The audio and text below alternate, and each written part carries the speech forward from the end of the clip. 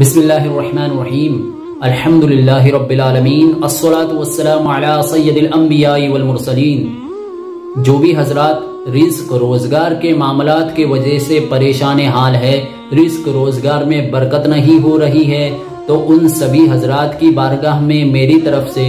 एक वजीफा पेश खिदमत है। ये वजीफा है या अजीजू का।